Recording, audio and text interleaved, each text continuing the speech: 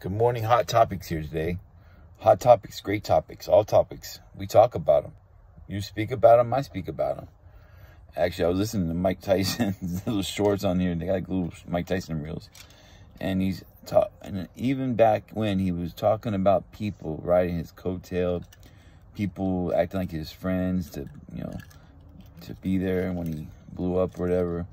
And then you hear him talk later in life, and he sounds pretty humble. I don't know the guy personally. I can't judge him. Guy seems pretty tough, you know.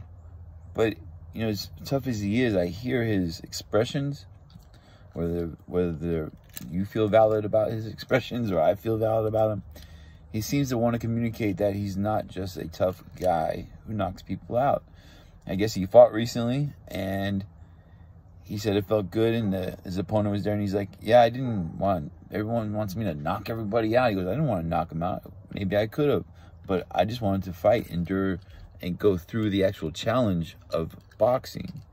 You know, those aren't his exact words, but that was the point. Like, he doesn't want to jump in there and feed everybody's bloodlust for knocking people out and bashing faces in. And he wanted to be part of the sport. And I thought that was very encouraging to hear from a man who makes a living off of beating people's faces in.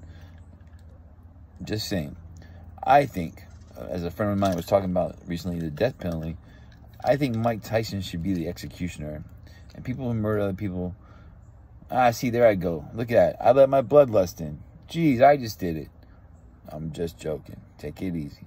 No, but um, the death penalty is for a reason, you know, and that's what it is.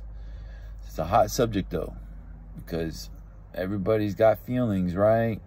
Everybody's got all this stuff going on in their world, but reality always exists, and our forefathers created a constitution, all the amendments, the rights. I mean, they did an awesome job at what they did. Let's not tear that apart. Let's keep it solid. Let's keep it together. Let's work on it together. And not a lot of people are going to care about this video, but I do. So thank you.